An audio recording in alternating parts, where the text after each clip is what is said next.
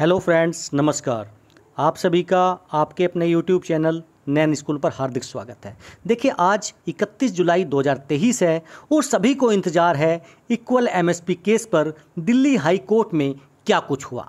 क्या हमारी एमएसपी 10,800 हुई क्या 15,500 हुई? लेकिन देखिए मैं आपको यहाँ पर बता देना चाहता हूँ कि आज का जो हियरिंग थी वो नहीं हो पाई। ये केस सुनवाई के लिए रखा ही नहीं गया।